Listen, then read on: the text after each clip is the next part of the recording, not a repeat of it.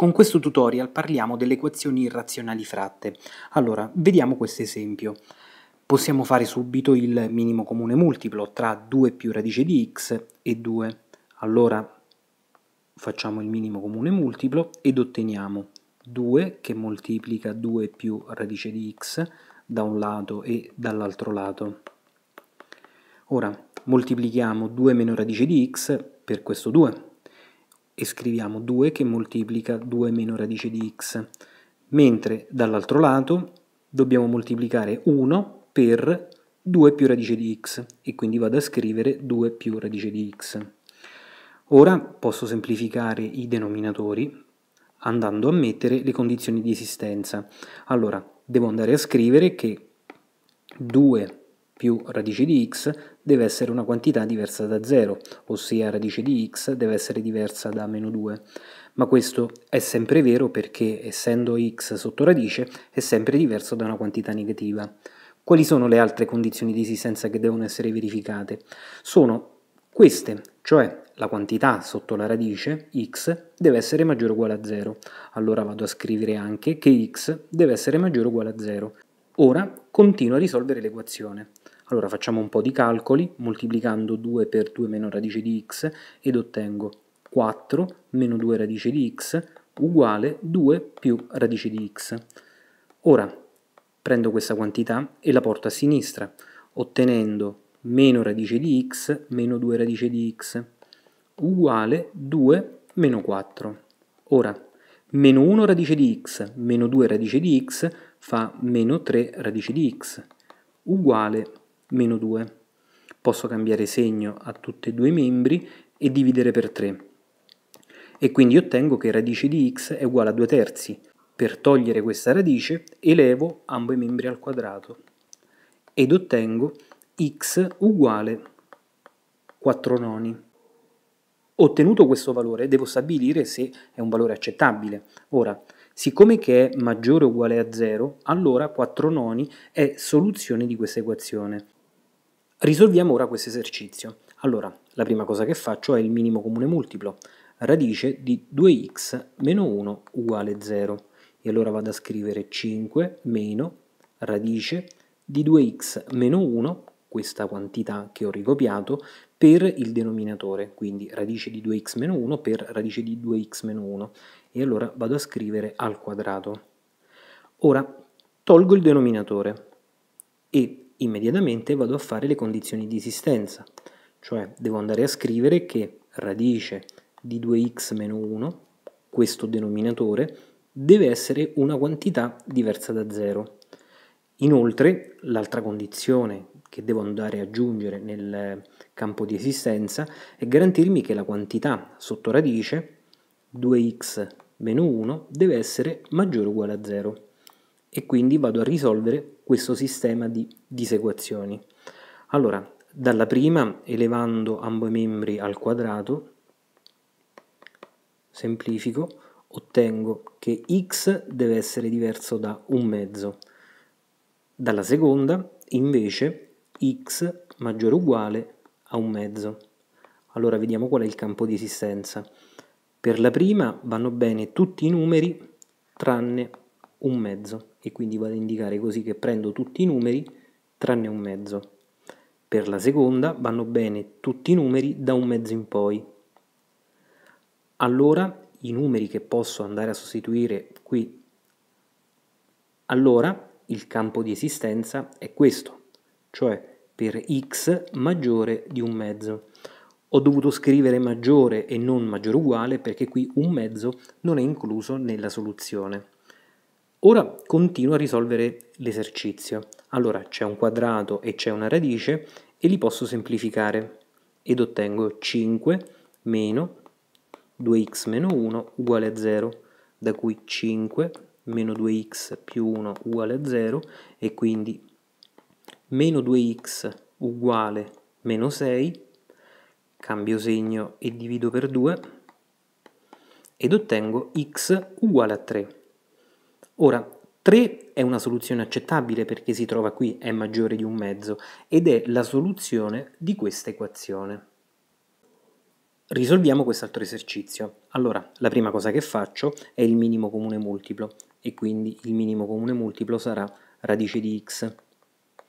Ora, radice di x per radice di x vado a scrivere radice di x alla seconda più radice di x uguale 6. Poi vado a togliere i denominatori e vado a mettere come condizione di esistenza che il denominatore radice di x deve essere diverso da 0. L'altra condizione è garantirsi che la quantità sotto radice deve essere maggiore o uguale a 0. Anche in questo caso devo risolvere un sistema di disequazioni da cui elevo ambo i membri al quadrato e mi esce che x deve essere diverso da 0 per la prima, per la seconda x maggiore o uguale a 0. Allora graficamente vuol dire che per il primo caso accetto tutti i numeri tranne 0. Per il secondo caso vanno bene tutti i numeri da 0 in poi. Allora la soluzione sono i numeri maggiori di 0 e quindi vado a scrivere x maggiore di 0. Ora risolvo l'esercizio. Allora radice al quadrato vado a semplificare ed ottengo x più radice di x uguale a 6. Prendo questa x e la porto a destra ed ottengo radice di x uguale 6 meno x. Per togliere questa radice elevo ambo i membri al quadrato ed ottengo x uguale 36 meno 12x più x alla seconda e quindi scritta questa equazione di secondo grado in forma normale ottengo x alla seconda meno 13x più 36 uguale a 0. Risolviamo questa equazione ed ottengo x12 uguale 13 più o meno, quindi b alla seconda 169 meno 144 diviso 2, da cui 13 più o meno radice di 25 fratto 2 ed ottengo come soluzioni 9 e 4. Ora devo stabilire se 9 e 4 sono soluzioni accettabili. Sicuramente fanno parte di questo intervallo, però siccome che qui ho elevato al quadrato devo andare a stabilire nell'equazione di partenza se sia 9 sia 4 sono accettabili. Allora vado a sostituire qui prima il valore di 9 e mi chiedo se radice di 9 più 1 è uguale a 6 fratto radice di 9. Da qui ottengo radice di 9 che è 3 più 1 che fa 4. Mentre di qui ottengo radice di 9 che fa 3 e 6 diviso 3 fa 3.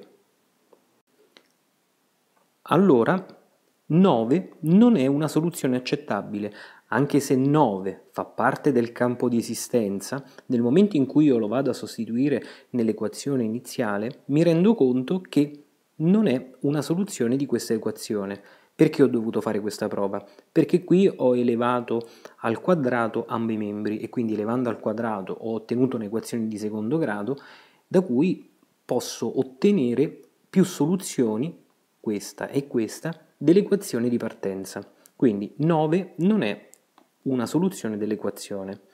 Ora vado a fare la prova con 4, quindi qui e qui vado a sostituire 4 e mi chiedo se radice di 4 più 1 è uguale a 6 fratto radice di 4.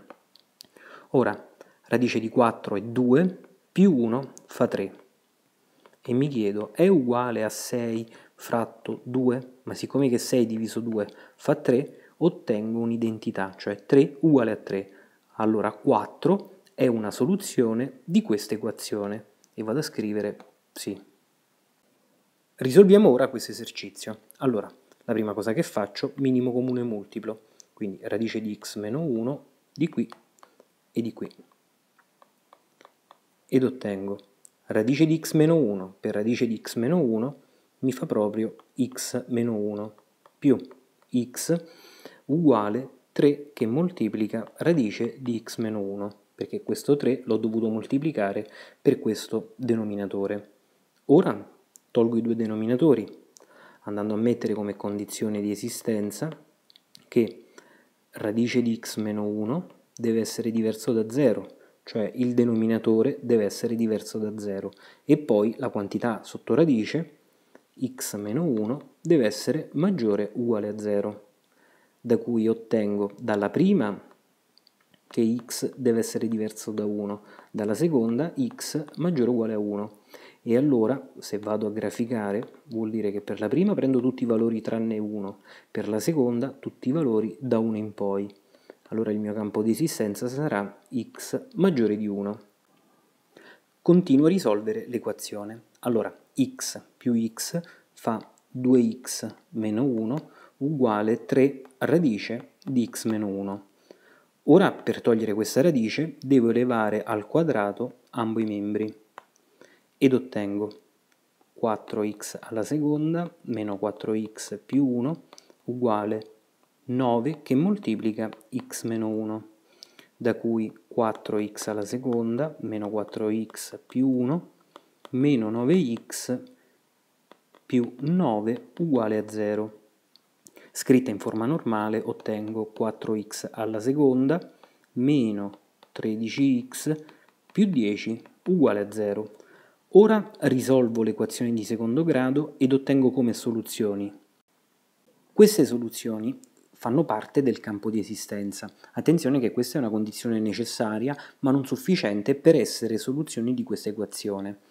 Ora devo andare a vedere se 2 e 5 quarti sono effettivamente soluzioni. Questo lo devo fare perché qui ho elevato al quadrato ambo i membri. Quindi vado a sostituire qui, qui e qui una volta 2 e poi una volta 5 quarti per vedere se ottengo un'identità. Allora vado a provare con 2 ed ottengo. Siccome che qui ottengo una identità, avendo sostituito al posto della x il valore 2, allora significa che 2 è effettivamente soluzione di questa equazione. Adesso devo fare la stessa identica cosa con 5 quarti, quindi al posto di questa x, di questa x e di questa x vado a sostituire 5 quarti ed ottengo. Questo fattore lo si ottiene facendo 5 quarti meno 1 che fa un quarto, radice di un quarto è un mezzo. Anche questo vale un mezzo e 5 quarti diviso un mezzo è 5 mezzi. Ora un mezzo più 5 mezzi è 6 mezzi, cioè è proprio uguale a 3. Allora anche 5 quarti è soluzione di questa equazione. Risolviamo quest'altro esercizio. Allora, la prima cosa che faccio è il minimo comune multiplo, che sarà 2 che moltiplica x più 1, e quindi ricopio anche dall'altro lato. Devo moltiplicare questa quantità per questa quantità e allora posso scrivere 2 che moltiplica 2x meno 1 per x più 1, cioè ho scritto questa radice qui sotto usando un'unica radice. Poi questo 2 lo devo moltiplicare per questo 2 ed ottengo 4 più radice di x più 1 per radice di x più 1 e quindi vado a scrivere radice di x più 1 alla seconda. Semplifico i denominatori e vado a fare la condizione di esistenza ponendo questa quantità x meno 1 maggiore o uguale a 0 perché sta sotto radice, x meno 1 maggiore o uguale a 0. Non c'è bisogno nemmeno di scrivere il 2 di fronte. Poi devo mettere che x più 1 deve essere maggiore o uguale a 0 perché comunque è una quantità sotto radice. Poi ho un denominatore, radice di x più 1, che deve essere diverso da 0. Risolvendo ottengo x maggiore o uguale di 1, x maggiore o uguale di meno 1, elevo questa al quadrato ed ottengo che x deve essere diverso da meno 1 e quindi rappresento graficamente le tre soluzioni. La prima mi dice che x deve essere maggiore o uguale di 1, la seconda x maggiore o uguale di meno 1 e la terza mi dice vanno bene tutti i valori tranne meno 1. Quindi è così. E qui ci metto una x per dire che il valore meno 1 non è accettabile. L'intervallo comune è questo e allora sarà x maggiore uguale a 1. Ora risolvo l'equazione. ed ottengo 2 radice 2 x alla seconda meno 1 uguale 4, la radice con il 2 si semplificano, più x più 1, da cui 2 radice di 2x alla seconda meno 1 uguale 5 più x. Ora elevo ambo i membri al quadrato. In questa maniera tolgo questa radice ed ottengo 4 che moltiplica 2x alla seconda meno 2 uguale 25 più 10x più x alla seconda. Risolvo ora questa equazione e la scrivo in forma normale ed ottengo che risolta mi dà come soluzioni 3 e meno 11 settimi. Ora, meno 11 settimi non fa parte di questo intervallo della condizione di esistenza, quindi la condizione necessaria per essere soluzione non è verificata. E allora sicuramente meno 11 settimi non è soluzione dell'equazione di partenza. Ora, 3 si trova nell'intervallo con x maggiore o uguale a 1 e devo andare a stabilire se è soluzione o no. E allora al posto di ogni x vado a sostituire 3 ed ottengo. Ottenuta questa identità tra numeri, faccio un po' di calcoli ed ottengo 2 uguale 1, che è questo, più 1. Allora ottengo un'identità, allora significa che 3 è soluzione di questa equazione. Risolviamo quest'ultimo esercizio. Allora, faccio il minimo comune multiplo ed ottengo